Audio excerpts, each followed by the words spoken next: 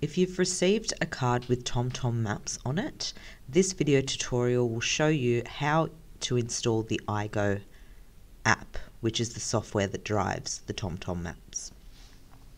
So first things first, from the home screen, we're going to scroll across until we find an app called APK Installer. Okay, so you can see here we've got some options up, local and GPS. So just make sure that the SD card you received goes into the GPS card slot.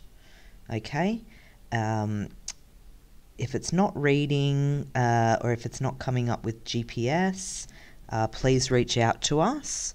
Um, but for the most part, uh, as long as the card is in the GPS slot, it should appear in the APK installer.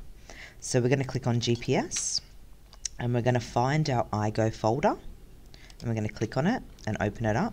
Then we're going to scroll all the way down until we find um, an app called igo.apk. We're going to click on that and we're going to install it. It doesn't take too long to install. Okay, so we've installed the app. We're going to open it up we're just going to allow permissions. Uh, you can change that later in the settings of the head unit. And it's just going to install the app for us.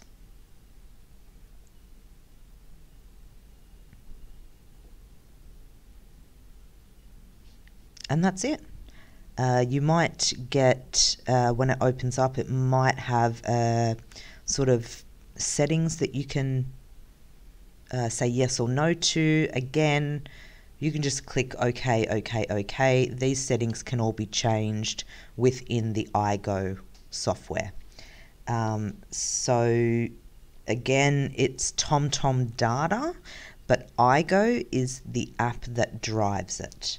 So you won't find a TomTom app, you'll find an iGo app.